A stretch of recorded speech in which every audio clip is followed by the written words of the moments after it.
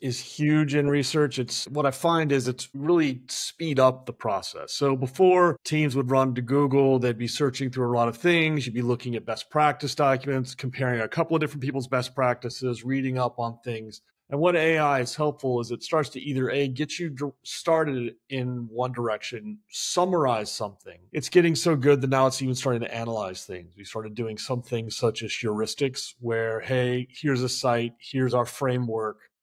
You know, it asks a few questions and it starts to spit out uh, results they're about 80% of what we need. Personas, it's great at giving you kind of rough ballpark personas, but also by allowing it to feeding it personas that you've already created and then reacting to some of the work or some of the ideas that you're presenting. Even just overall content strategy, we found like we've got this kind of a site or here's this kind of a page. What are some recommendations on versions of content strategy?